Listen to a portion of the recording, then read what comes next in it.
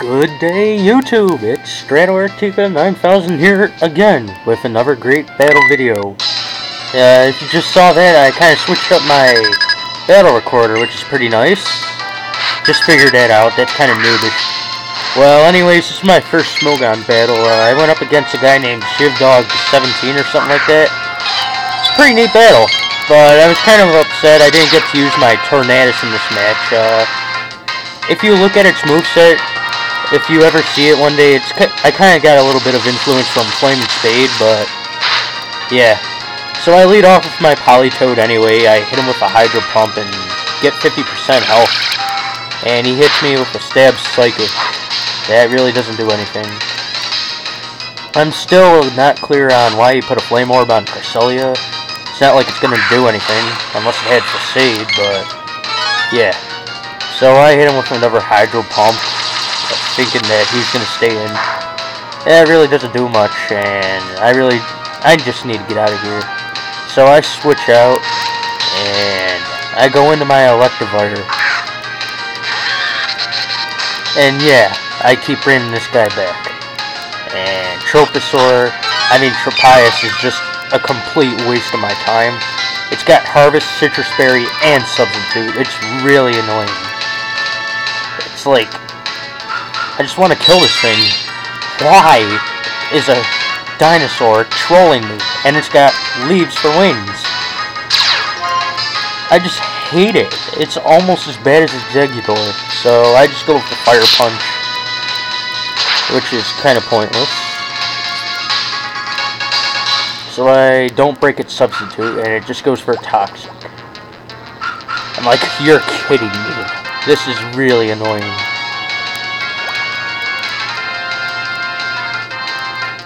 So I switch out again, and I go into my Trolling Durant. This thing's pretty neat. I've used it a couple times.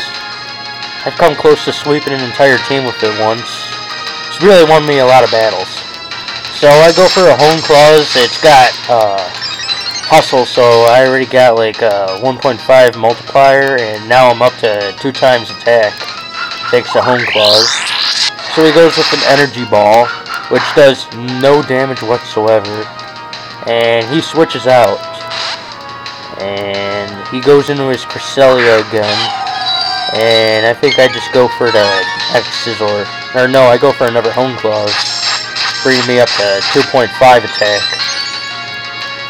And this thing's like a god right now. It's got like so much attack, like considering that it's got the 2.5 boost and it's already got about 317 attack, it's got a nice 750 attack right now, and that easily destroys Cresselia.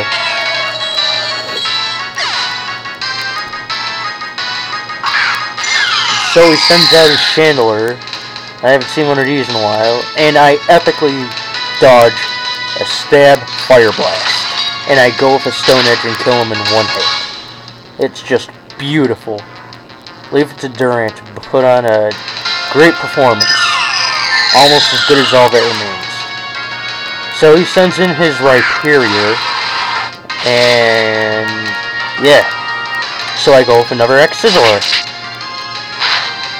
And that does a neat amount of damage. And guess who misses a Stone Edge? That's right, Rhyperior. So I just pick them off with the X-Scissor. Ah, I just love my Durant. Such a troll, yet so beautiful. And then he sends in his shiny Jirachi. I just go with another X-Scissor. And chances are it's going to use Thunder Wave on me. Get some paralysis. Yup. Look how it barely lives, too. It's got like, like maybe 30 hit points.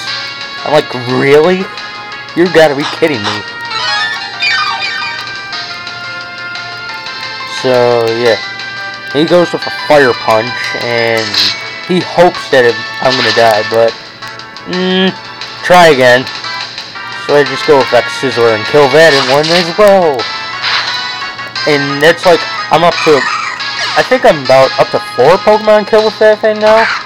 I don't know, but he goes with his Swellow. I think this is the one that takes me out, yeah. Yeah, this is this one takes me out. He's got Flame Orb, Facade, and he's got Guts.